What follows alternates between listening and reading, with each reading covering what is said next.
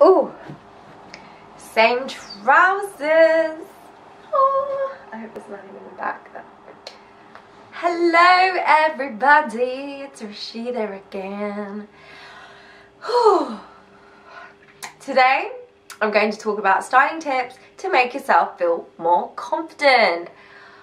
I've realised over the years, I've just realised from a really young age to be honest, do what makes you happy people aren't always going to be happy about it, but do it anyway because it makes you happy as long as it's, you know, doesn't break any laws and is morally okay, aligned with your morals. Why not?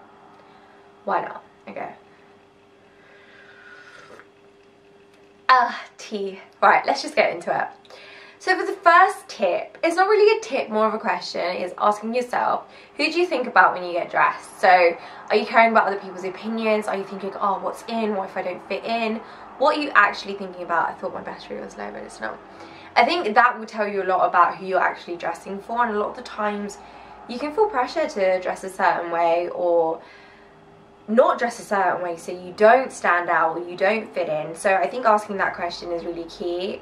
I find most of the time I dress for myself, sometimes maybe I am influenced and I think even saying that it's almost like a proud moment, no one wants to say that, but we're all influenced by things around us, the people around us, even if we don't realise. So I think just acknowledging that and also asking, who am I dressing for?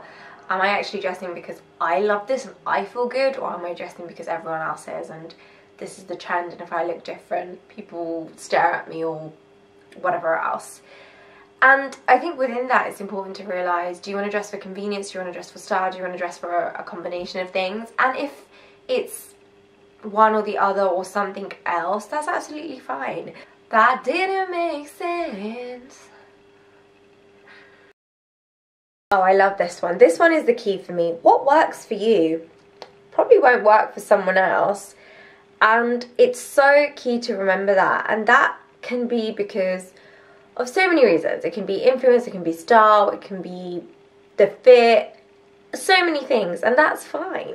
What works for you doesn't have to work for someone else, and what works for someone else doesn't have to work for you. For me, I love thinking about silhouettes. I feel fancy saying that. Silhouettes, more so necklines on clothes, so I love V necklines. I'm not a big fan of this neckline, but I think with a turtleneck it looks fine, and as it's a sweater, it works. But if I want something a bit more hugging, I always reach out for a v-neck because I know they always make me feel good.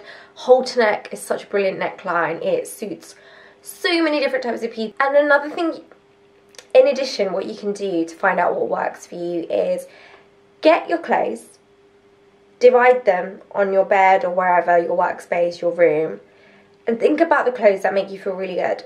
put them in a pile and then think about the clothes that don't make you feel good and put them in another pile.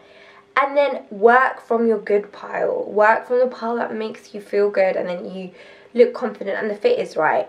I had this whole thing in my head for a really long time about skinny jeans. I've put on weight not a drastic amount but i've been my one size my whole life and then i put on weight and skinny jeans my relationship with them completely changed. I just felt horrid in them. I wore them and i just hated it. I honestly started being quite critical, quite critical to myself and I didn't like that because I thought actually I'm pretty active, I eat well. And why am I doing this? And it was just the fit of the jeans and their clothes at the end of the day.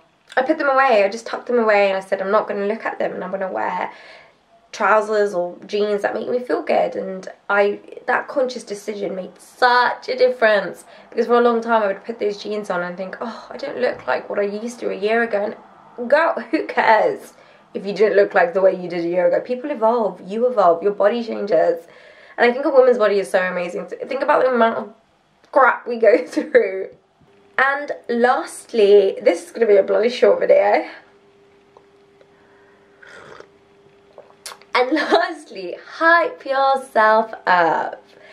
Listen, listen, listen, listen, listen. You have all the time in the world, right? You can either choose to be bad to yourself or good to yourself. Choose to be good to yourself. Love the body you're in. Love the clothes you're in. See you later. I hope I wasn't focused. I think I wasn't.